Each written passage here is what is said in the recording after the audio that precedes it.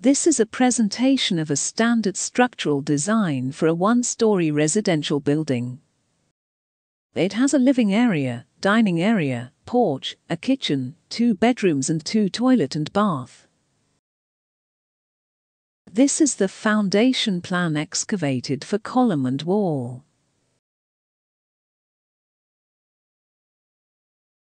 This is the laying of gravel bed for column.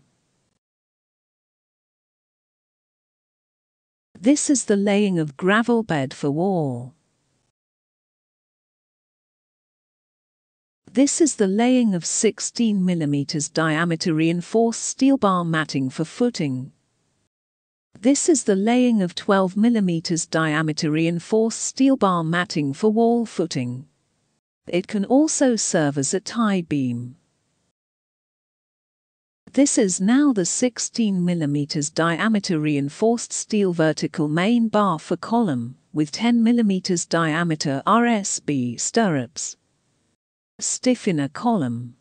Reinforced beam with 12 mm diameter main steel bar with 10 mm diameter RSB stirrups. Reinforcement for CHB wall.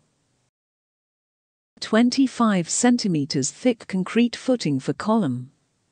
25 cm by 25 cm reinforced concrete column. 25 cm by 25 cm reinforced roof beam. 20 cm thick reinforced concrete wall footing. 2 by 2 by 4 mm thick angle bar trusses. With 2 by 2 by 4 mm thick web members top and bottom chord. Use 6 inches thick CHB wall exterior and 4 inches thick CHB wall for interior. Put lintel beam for doors and windows opening.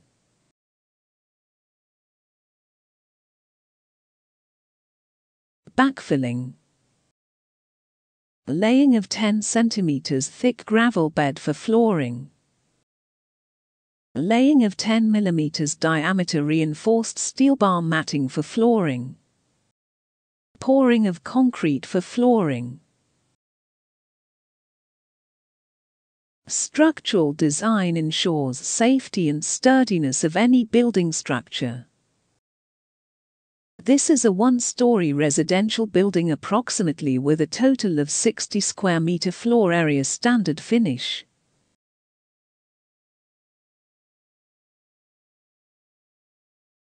Commission a civil engineer for structural design to ensure your dream living is secured lasting and strong. And for more structural details. We are from Spectives Designs and Build Engineering Services.